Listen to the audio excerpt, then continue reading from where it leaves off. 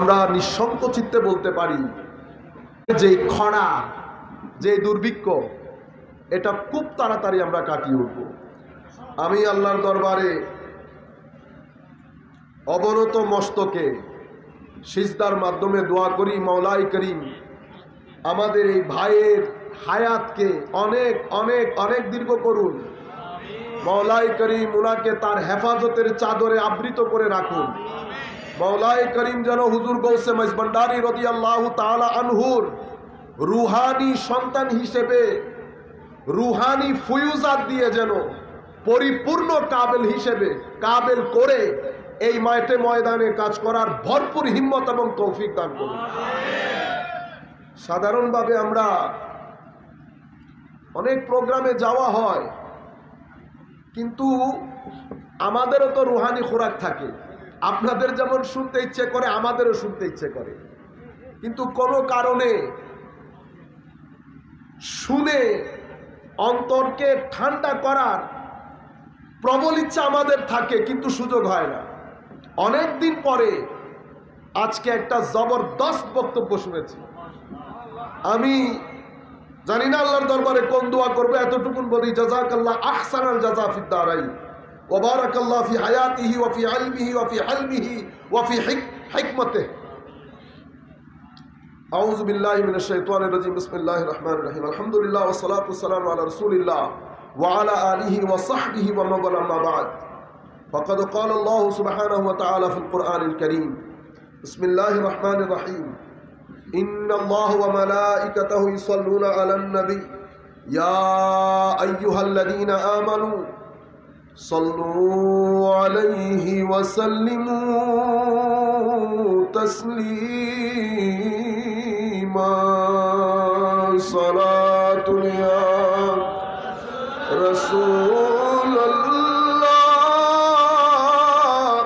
عليكم.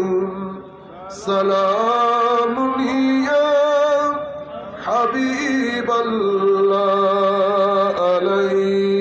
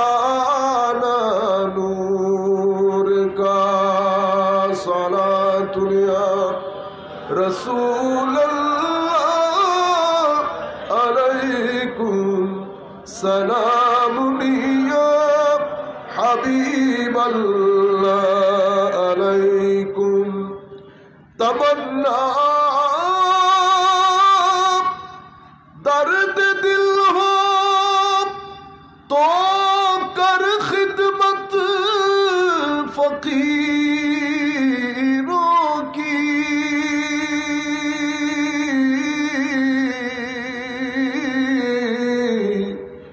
نہیں ملتا یہ گو ہر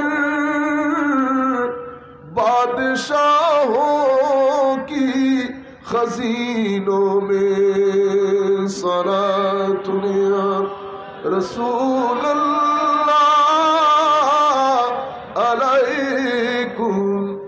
سلام یا حبیب اللہ علیکم بسم اللہ الرحمن الرحیم قل انما حرم ربی الفواحش ما ظہر منها وما بطن. صدق اللہ مولانا عظیم وصدق رسول النبی الحبیب الکریم وسیع غوث العظم حضور شاہ صوفی سید دلور حسین مز بنڈاری قبلہ کابار ওফাত দিবস স্মরণে আয়োজিত আজকের এই জিক্রে গৌসুল আজম মাহফিলের সম্মানিত মেহমান মেহমান আলা শাহজাদা সৈয়দ হুসাইন রাইফ নুরুল ইসলাম রুবা মাইজ ভান্ডারি সাহেব, আজকের এই অনুষ্ঠানে আমার পূর্বে যিনি আলোচনা করেছেন, হুজুরের আউলাদ শাহজাদা ডক্টর সৈয়দ হুসেন সাইফ নিহাদুল ইসলাম এস ভান্ডারি সাহেব হাফিজাহুল্লাহ এবং স্টেজে উপবিষ্ট সম্মানিত ওলামাই কেরাম গণ্যমান্য ব্যক্তি আমি আপনাদেরকে এবং সম্মানিত শ্রোতামণ্ডলী সকলের প্রতি সশ্রদ্ধ সালাম রাখছি আসসালামু আলাইকুম ওরহমতুল্লাহ তালা ওবরাকাত আমরা খুব সংক্ষিপ্ত আকারে যেহেতু আলোচনা করব তো আমরা বিষয়কে অনেক বেশি খুলব না। একটা মূল পয়েন্টের উপর আলোচনা করব। এবং আমার পূর্বে যিনি আলোচনা করেছেন, এই আলোচনার পরে আমার মনে হয় না এখানে আর কোনো আলোচনার প্রয়োজন আছে। অনেক সময় আলোচনার মধ্যে শব্দের চয়ন সুন্দর হয়, কিন্তু আলোচনার মধ্যে ডেপথ থাকে না মানে গভীরতা থাকে না। অনেক সময় শব্দ চয়নও সুন্দর, আলোচনার গভীরতাও আছে, কিন্তু আলোচনার সাথে ইমোশন জড়িত থাকে। অনেক সময় ইমোশনও থাকে, গভীরতাও থাকে, শব্দ চয়নও সুন্দর, কিন্তু এলম এবং হ্যাকমতের যেই ঝলক, সেটা থাকে না। যখন বক্তব্যের মধ্যে গভীরতা, এলম হ্যাকমতের ঝলক ইমোশন রুহানিয়ত, শব্দের চয়ন, সব যখন একাকার হয়ে যায় তো এই ধরনের বক্তব্যের মাধ্যমে জাতির মধ্যে একটা জাগরণ তৈরি হয়, একটা রেভলিউশন তৈরি হয়। আমি দীর্ঘদিন ধরে বাংলাদেশের আনাচে কানাচে আমি চাচ্ছি এই ধরনের একটা ধ্বনি প্রতিধ্বনিত হোক। মাইস ভান্ডার দরবারের মতো দরবার থেকে যদি এই ধরনের ধ্বনি প্রতিধ্বনিত হয়, তাহলে যেই কাজ করতে আমাদের মতো ব্যক্তির একশত বছর লাগবে সেই একই কাজ করতে এই ধরনের ব্যক্তির দশ বছর লাগবে। কিন্তু মেসেজ যেটা, সেটা আপনারা ধারণ করার চেষ্টা করেন। পরিস্থিতি দিনের পর দিন অন্ধকার থেকে অন্ধকারাচ্ছন্ন হচ্ছে। আমাদের পরবর্তী প্রজন্ম, যুবকদের কাছে আমরা এই মেসেজ পৌঁছাতে পারব না। আপনি যদি মাঝ ভান্ডারি হয়ে থাকেন আমি যদি মাঝ ভান্ডারি হয়ে থাকি, আমি যদি দাবি করি, হুজুর গৌসে মাইজ ভান্ডারির মোহাম্মত আমি অন্তরে ধারণ করি, আমি বুকে হাত দিয়ে নিজেকে নিজে প্রশ্ন করি যে গৌসে মাইজ ভান্ডারি আমার দিকে দৃষ্টিপাত করলে উনি মনে করছে কিনা আমি ওনার মোহাম্মতের ধারক। আমি একটা ঘটনা আপনাদেরকে বলি। হজরতে সাহাল তুস্তারি রদিয়াল্লাহু আনহু। ওনাকে দেখার পরে আলে বাইতে রসুলের অন্যতম ইমাম, যেই ইমামের রুহানি ফয়ুজাত এবং এলমি ঝলকের কারণে ইমামে আজম ইমামে আজম হয়েছেন, সেই ইমাম, হায় হায়, উনি সাহাল তুস্তারিকে দেখার পরে বলছেন, সাহাল, তুমি অনেক ভাগ্যবান। আল্লাহ তোমার উপর রাজি হয়েছে। তুমি অনেক মর্যাদাবান ব্যক্তি। এই কথা বলার পরে ইমাম জাফর সাদেক আল্লাহ আনহুকে, যার ব্যাপারে ইমামে আজম বলছেন, আমি যদি আমার শেখ ইমাম জাফর সাদেকের মজলিসে না বসতাম, আমি আবু হানিফা আবু হানিফা হতে পারতাম না। চিন্তা করে দেখেন, যার শানে ইমামে আজমের মতো ব্যক্তি এই কথা বলেন। ওই ব্যক্তি এখন কোন মর্যাদার অধিকারী আল্লাহ পাক ভালো যাবে সম্মানিত উপস্থিতি, এই জাফর উসাদেক রদিয়াল্লাহু আনহু আরদা হুজুরকে সাহাল তুস্তারি বলছেন, হুজুর, আপনি তো আল বাইত রসুলের চশম চেরাক হুজুর, কই আপনি? কই আমি সাহাল তুস্তারি হুজুর, রুয়ে জমিনের মধ্যে আপনার তো কোনো মেসাল নাই। এই কথা শোনার পরে ইমাম জাফর সাদেক কেঁদে দিলেন। দুই চোখ বেয়ে পানি পড়ছে। কুল কায়নাতের ইমাম ইমাম জাফর সাদেক বলছেন, সাহাল, তুমি যেই কথা বলছো, সেই কথাতে আমি খুশি হতে পারতাম। কাশ, যেই কথা তুমি বলছো, কাল কিয়ামতের ময়দানে কুল কায়নাতের সামনে আমার নানা রসুল করিম সাল্লাল্লাহু আলাইহি ওয়াসাল্লাম যদি এই কথা বলতেন যে আমি উনার নসলের একজন ইমাম, আমি জাতিকে পথ দেখিয়েছি, এই কথা যদি আমার নবী বলতেন, তো রুয়ে জমিনের মধ্যে আমার চেয়ে সৌভাগ্যবান কেউ নাই। কিন্তু আমি ভয়ে ভয়ে থাকি। আমার নবীনি কোনো আবার কিয়ামতের ময়দানে বলে, জাফর, তুমি কোনো হক আদায় করো নাই আমার। এত বড় ইমাম তাকুয়ার ক্ষেত্রে কোথায় দেখেন? আজকে আমাদের অবস্থান যখন আমরা বিবেচনা করি, আমরা যখন আমার উদামাই কেরামের মুখের ওই হুঙ্কারগুলা শুনি, আমরা তাসাব্বুফ, তরিকত এবং এই ক্ষেত্রে দূর দূর পর্যন্ত কোনো সম্পর্ক, কোনো মিলজুল দেখি না। এই জাফর সাদেক রদিয়াল্লাহু উনি যখন কোনো মজলিসে বসতেন, এই কথাগুলা বলছেন, হুজুর, কাশফুল মাহজুবের লেখক, ইমাম দাতা গঞ্জ বক্সালি হুজমেরি যার মজলিসে গিয়েছেন হুজুর খাজায় আজমের, মাজারে পাকের মধ্যে চিল্লা করেছেন। কারণ দাতায় হুজমের উনি হুজুর গৌসুল আজমের অনেক আগে ইমাম কুশাইরি যিনি, রেসালা কুশাইরিয়ার লেখক, ইনারা প্রথম যুগের আল্লাহর বলি যখন হুজুর গৌসুল আজমেরও প্রায় শ দেড়শো বছর আগে, সেই দাতাগঞ্জ বক্স ওনার কশফুল মাহজুব তাসাউফের অন্যতম একটা কিতাব। সেই কিতাবের মধ্যে লিখছেন হুজুর ইমাম জাফর সাদেক রদি আল্লাহ আনহু যখন কোনো মজলিসে ওয়াজ করতেন হায় হায়। ওয়াজ করার পরে বলতেন, আমি তো ওয়াজ করলাম, তোমরা আমাদের সাথে একটা, আমার সাথে একটা ওয়াদা করো। কিয়ামতের ময়দানে তোমাদের মধ্যে যদি কেউ মাফ পেয়ে যায়, সে যেন আমার জন্য একটু সুপারিশ করে। চিন্তা করতে পারবে কি নিয়ে আমরা পড়ে থাকি? এই সুফিয়াই কেরামের কিতাব পড়েন। এখন আমি আপনাদেরকে যেটা বলছিলাম, আমি মাইসবান্ডারিয়া তরিকার, আমি হুজুর গৌসুল আজমের মোহব্বত রাখি, আমি অমুক দরবারের সাথে নিসবত রাখি। দাবি করলে হয় না। আমরা সবাই কাদেরিয়া তরিকার মুরিদ। সবাই এক কথা, এটা নিয়ে কত অহংকার। পার্ট একটার সাথে একটা, এর মজলিসে যায় না, ওর মজলিসে আসে না। আমি মুরিদ, আমার পীরমু আমি শুধু আমাদের উলামাই কেরামের মজলিসে বলেছি। বলেন দেখি হুজুর গৌসুল আজম কাকে মুরিদ বলেছে? হুজুর গৌসুল আজম যখন মুরিদের সংজ্ঞা দিচ্ছেন, তো একটা কথা শুরুর সংজ্ঞাতে একটা কথা বলেছেন মুরিদ শব্দটি এরাদা থেকে। মুরিদ তাকে বলে যেই ব্যক্তি ওয়াদা করে কিসের? তারকুল আদা।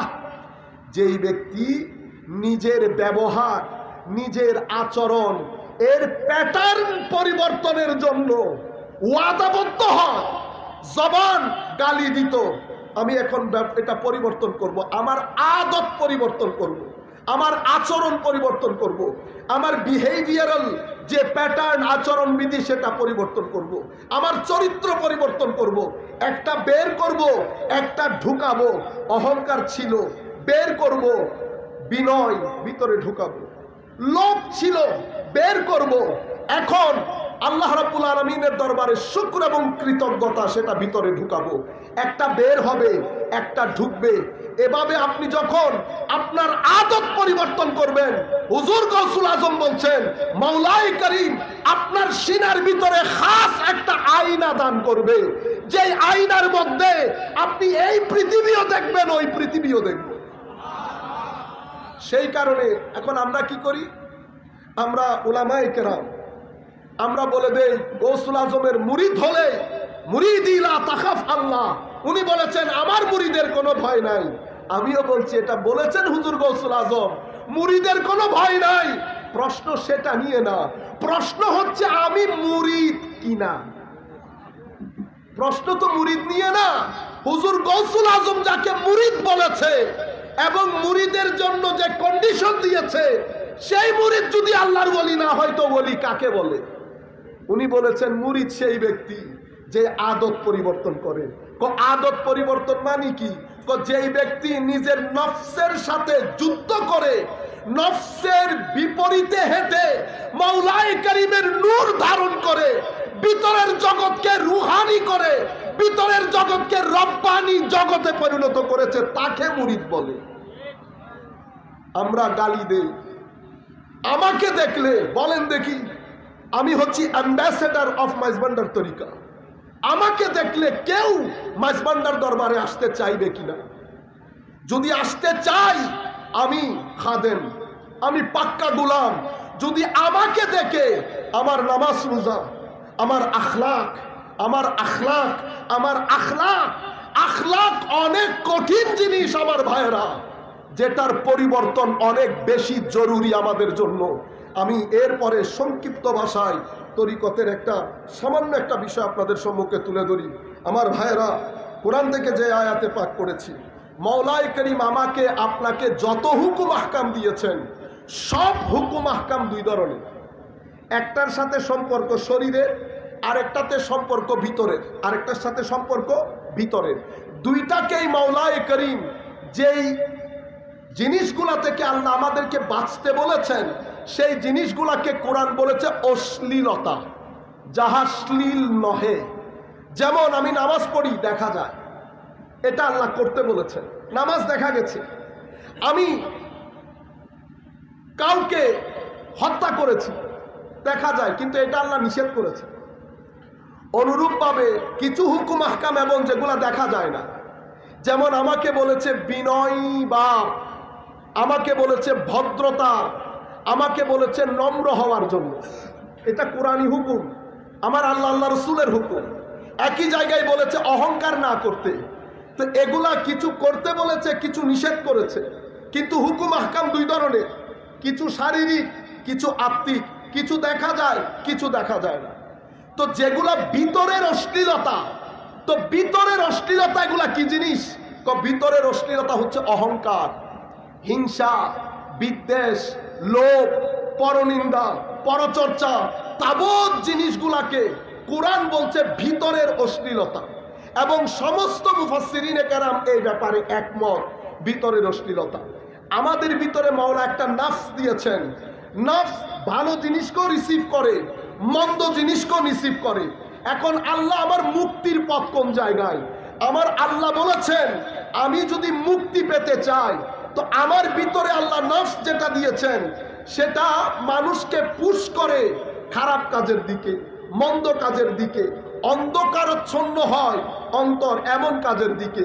এখন আমাকে বলা হচ্ছে, তোমার এই নফস যেন একটু ডেভেলপ করে লাউয়ামার পর্যায়ে আসে। মানে আপনি কিছু এবাদত, রিয়াজত স্ট্রাগলের মাধ্যমে আপনার নফস একটু ইমপ্রুভ করে।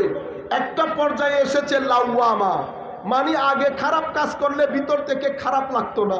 এখন একটু খারাপ কাজ করলে ভিতরে এক ধরনের লাগে। ভিতর থেকে আনকমফোর্ট লাগে। এটা অনেক বড় নিয়ামত। ভিতর থেকে আপনি শান্তি পাচ্ছেন না। আমাদের এখানে ডিপ্রেশন বাড়ার মূল কারণ, আমার ভাইয়েরা, মুরব্বীরা বলে না, পরিশ্রমে আনে ধন। পুণ্য আনে সুখ। আপনি পুণ্যের কাজ করবেন না, সুখ পাবেন না। End of the story very simple মান আমিলা সালিহান মিন যাকারিন আও উনসা ওয়া হুয়া মুমিন, ফালনুহিয়ান্নাহু হায়াতান তাইয়্যিবা। হায়াতে তাইয়্যিবা কখনো ঈমান এবং আমল ছাড়া আসে না। রয়ে গেল পরিশ্রম। পরিশ্রম করবেন, ধন আসবে। পরিশ্রম করলে ধন আসে। কিন্তু আপনি যদি সুখ চান, অবশ্যই আপনাকে পুণ্যের কাজ করতে হবে। তো এখন পুণ্যের কাজ করার জন্য যখন যাবেন, তো নফস লাভবামা হয়, বৎসনা করে। কেন করলি কেন করলি মানুষ একটা দরবারের সাথে আসা যাওয়া আছে, সেই নিজবতের হায়া করছেন, সেই অনুযায়ী আমল করছেন, আসা যাওয়া আছে এবাদত রিয়াজত আছে, নবীর আনুগত্য আছে, আউলিয়া সালেহিনের নিজবত আছে, হায়া আছে। নফস আর একটু ডেভেলপ করে ডেভেলপ করে মূলহেমা হয়ে যায়। আগে পুশ করতো খারাপ কাজের জন্য, এখন পুশ করে ভালো কাজের জন্য। এই নফস আরেকটু উপরে গেলে মুতমাইন্না হয়ে যায়। কিছুদিন আগে যেই নফস অন্ধকার ছিল, সেই নফসের মধ্যে খুদা তালার নূরের বর্ষণ হয়ে নফস এবং নূর একাকার হয়ে চিনির শরবত হয়ে যায়। না পানি আলাদা করতে পারছেন, না চিনি আলাদা করতে পারছেন। নফস নফসে মুতমাইন্না হয়। আমার আল্লাহ বলছে, যতক্ষণ নফস নফসে মুতমাইন্না হয়ে তোমার কলমের জমিন সালিম হবে না, নিদা দাগহীন হবে না, কিয়ামতের ময়দানে মুক্তি নিশ্চিত হবে না। এখন আমরা দরবারে কেন আসি? দরবারে আসি, নামাজ রোজার ফরজ ওয়াজিব শিকার জন্য না।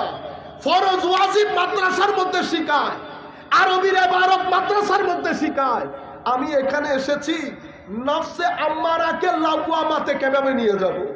লাউয়ামাকে মুলহিমাতে কীভাবে নিয়ে যাব? মুলহিমাকে মুতমাইন্নার দরজায় কীভাবে নিয়ে যাব?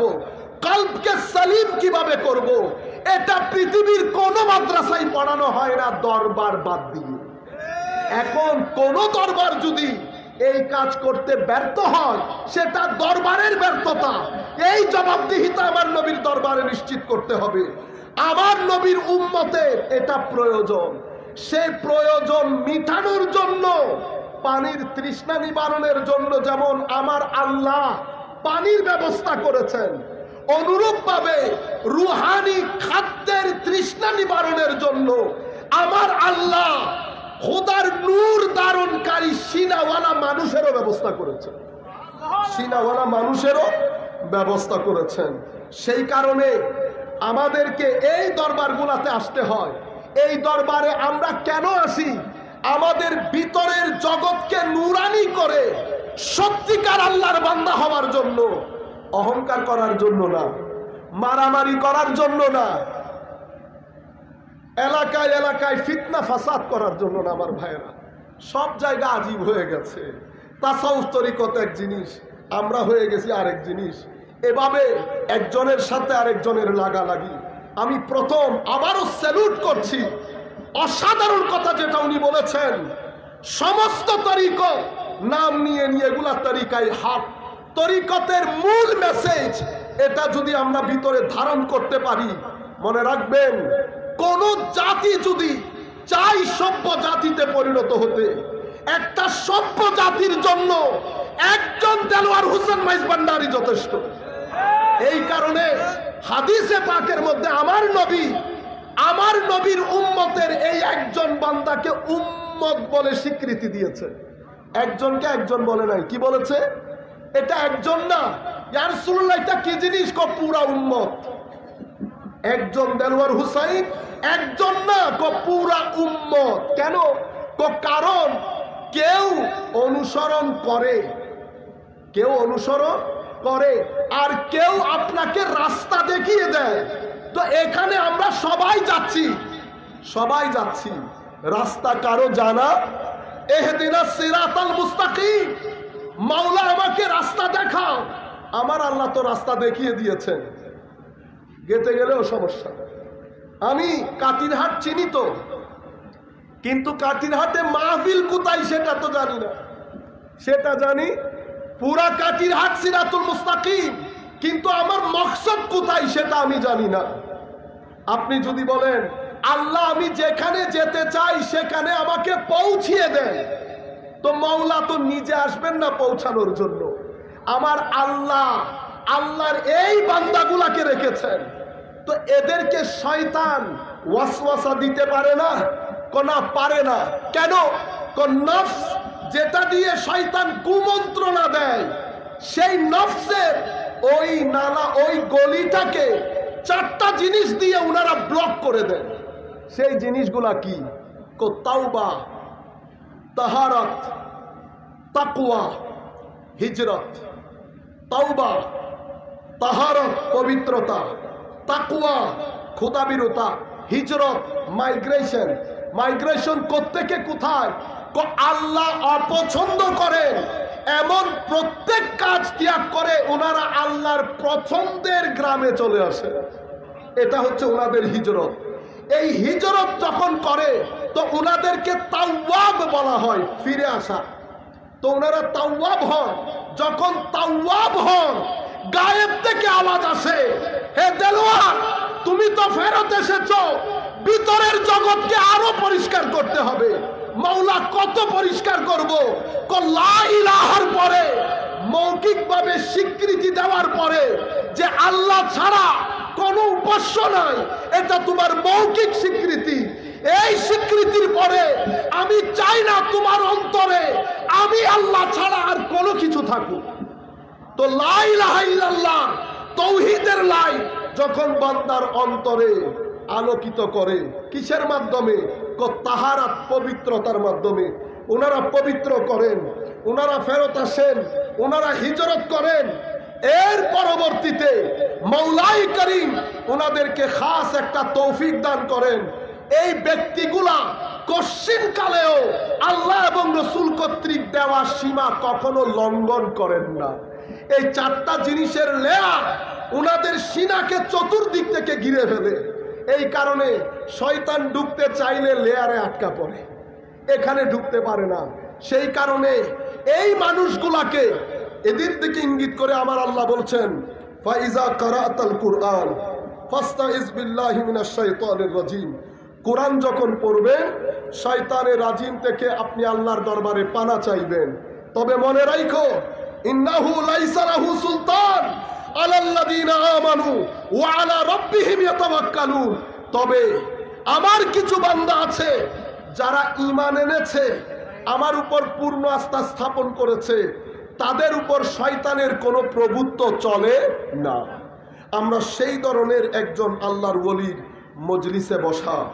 আমার ভাইরা আমরা যদি কর্মক্ষেত্রে এই নিসবতের হক আদায় করতে পারি তাহলে আমরা নতুন একটা বাংলাদেশ গড়তে সক্ষম হব একটা হাদিস দিয়ে আমি আমার বক্তব্য শেষ করছি আন আবি আন ইবনে আবি মালিক আন আবিহি আন আতা ইবনে রব আন আব্দুল্লাহ ইবনে ওমর রাদিয়াল্লাহু আন قال اقبل علينا رسول الله صلى الله عليه وسلم হুজুর করিম সাল্লাল্লাহু আলাইহি ইসলাম একদিন আমাদের কাছে আসলেন এবং বললেন ইয়া মাশারাল মুহাজিরিন খামসুন ইজাব তুলিতুম বিহিন ওয়া আউযু বিল্লাহি আন তুদরিকুহুন পাঁচটা জিনিস যদি তোমরা করো, তোমাদেরকে পরীক্ষা করা হবে পাঁচটা জিনিস দিয়ে। আমি দোয়া করি আল্লাহর দরবারে, হুজুর বলছেন যে এই পাঁচটা জিনিস থেকে যেন তোমরা মুক্ত থাকো। তবে যদি এই পাঁচটা জিনিস তোমরা করো, আমার নবী বলছেন, এই পাঁচটা জিনিস করলে বালা এবং মুসিবত কখনো তোমাদের পিছন ছাড়বে না। মনে রাখবেন, আমি ইউথকে বিশেষ করে বলব দিন ধর্ম ছেড়ে যদি কেউ শান্তিতে থাকতে পারত শুধু টাকা, পয়সা আর full democratic and human rights নিয়ে, তো আমেরিকা, ইংল্যান্ডের লোক পৃথিবীর সবচেয়ে বেশি শান্তিপূর্ণ জাতি হতো। মনে রাখেন, আবারও আমার মুরব্বীদের কথা, পরিশ্রমে আনে ধন, পুণ্য আনে সুখ। সুখ এবং পুণ্য একটা আরেকটার সাথে লাগানো, এটাকে সুন্নতে ইলাহি বলে। আল্লাহর দেওয়া বিধান, আল্লাহ আল্লাহর বিধানের ব্যতিক্রম করেন না। আল্লাহর বিধান হচ্ছে এক হাতে পুণ্য থাকবে আর এক হাতে আল্লাহ সুখ দেবেন। সুখের মাধ্যমে আমার হায়াত, হায়াতে তৈয়াবা হবে। যদি মাওলা এই হাতে পুণ্য না থাকে, তো কি হবে? আমার আল্লাহ বলছেন ভেরি সিম্পল আমার কানুন হচ্ছে দুঃখ, কষ্ট ডিপ্রেশন ফ্রাস্ট্রেশন মানসিক অস্থিরতা সব কিছু অপ্রতুলতা, টেনশন এবং বিশৃঙ্খলা দিয়ে মাওলাই করিম চতুর্পাশে আমাদেরকে ঢেকে নেবেন। আমরা এখান থেকে বের হতে পারব না। আমার নবী বলছেন, এই পাঁচটা কাজ করলে আমি চাই না তোমরা এই পাঁচটা কাজ করো, বালা মুসিবত পিছন ছাড়বে না। আমার নবী বলছেন, লাম তাজহারিল ফাহিশা ফি কওমিন কাত্তুন হাত্তা ইউলিনু বিহা। ফিহিম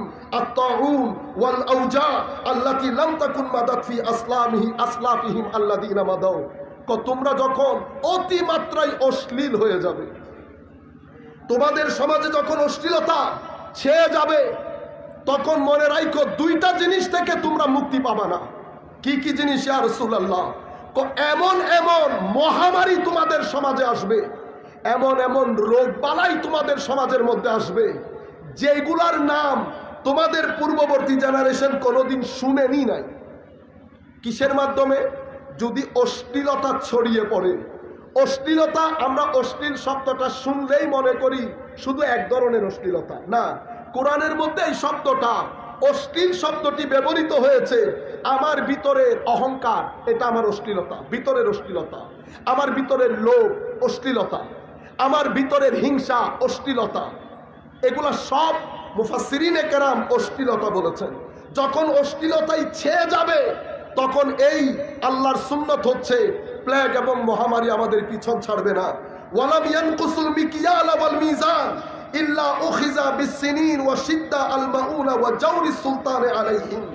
আমার নবী বলছেন, যদি তোমরা মাপে কম দাও, মানুষকে ঠকাও, মানুষের উপর জুলুম করো, তো তোমরা মাথায় রাখবা এই জিনিসগুলা তোমাদের পিছে ছাড়বে না কি? দুর্ভিক্ষ লেগে থাকবে। দুর্ভিক্ষ বলতে অপ্রতুলতা। বলেন দেখি পানির কষ্ট পাচ্ছি না এখন। মাওলাই করিম, পানির কষ্ট আমরা কেন পাবো? মনে রাখবেন, আমার আল্লাহ বলছে, জাহার আল ফাসা ফিল বাররি বাহরি বিমা কাসাবাত আইদিন নাস। যা কিছু তোমরা সাফার করছ, এগুলা তোমাদের কৃতকর্মের ফল। এটা শূন্যতে ইলাহি। আমার আল্লাহর দেওয়া বিধান, এটা করলে এটা হবে। আমার আল্লাহ বলছেন, আমার নবী বলছেন, মানুষ ঠকাবে, মানুষকে উজনে কম দেবে, আপনারা জানেন। সোয়াইব আলা ইসলামের পুরা জাতিকে আল্লাহ ধ্বংস করে দিয়েছেন, শুধু ওজনে মাপে কম দেওয়ার জন্য। আজকে আমরা এটা আমাদের ডেইলি প্র্যাকটিস আজকে ভোক্তা অধিকার, এত জায়গার মধ্যে যাচ্ছে না। ভোক্তা অধিকার অপারেশন পরিচালনা করছে। এমন এমন কাজ আমাদের মাধ্যমে সাধিত হচ্ছে, কল্পনারও বাইরে। ভোক্তা অফিসারের এক, একজনের সাথে কথা বলতে গিয়ে আমি বলেছি, আমার ভাই, আপনারা যখন এই অপারেশনগুলো পরিচালনা করেন, আমার নবীকে একটু স্মরণ করিয়েন। কারণ আসমানের নিচে বক্তা অধিকারের প্রথম অপারেশন আমার নবী চালিয়েছে।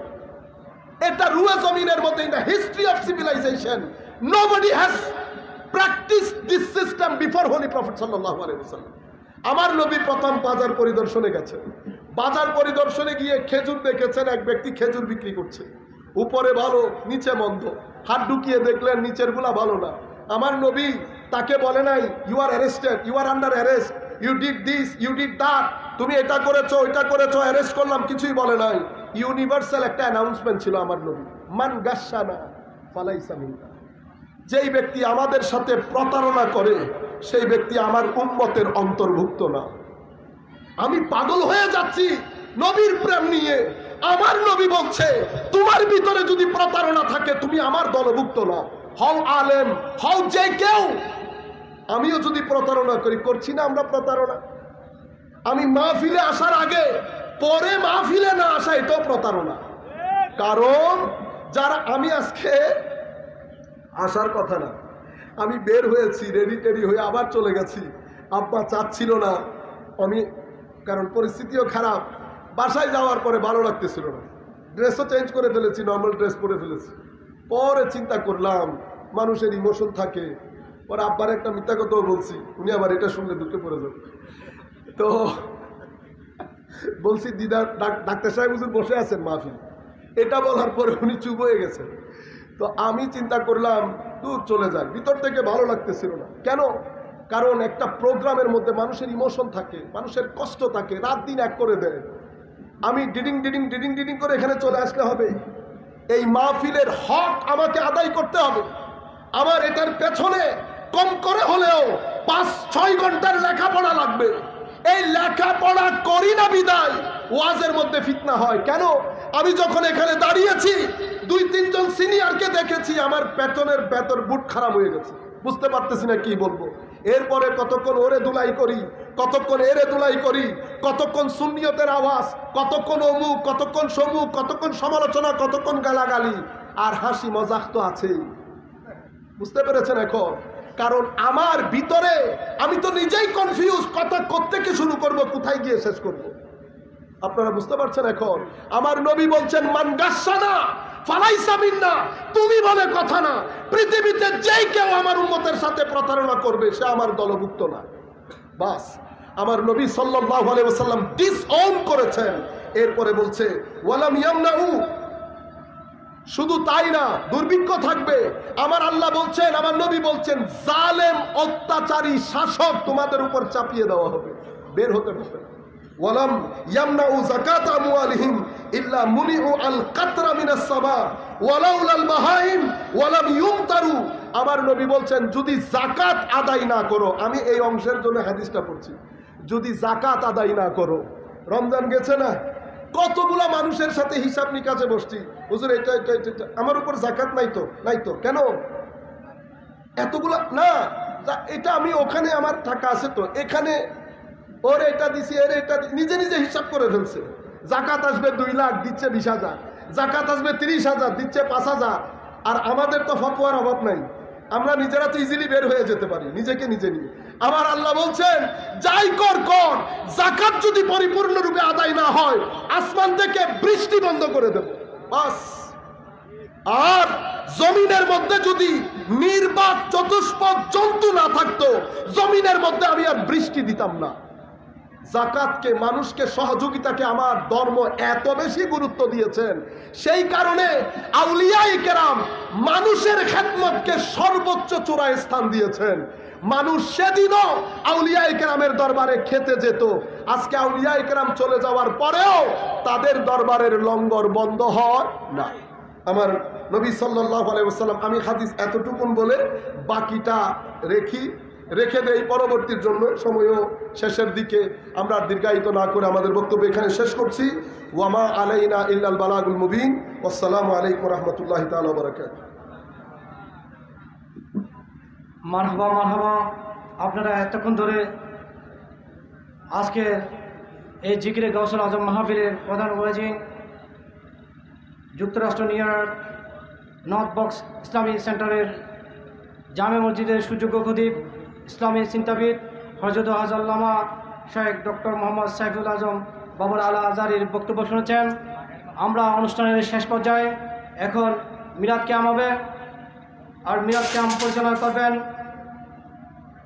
হরদত কাসুল আজম মাইজমান্ডারি রাজা শরীফ সংলগ্ন এবাদতখানার পেশ ইমাম হজরত মৌলানা আবু জাফর মোহাম্মদ এনামুল হক।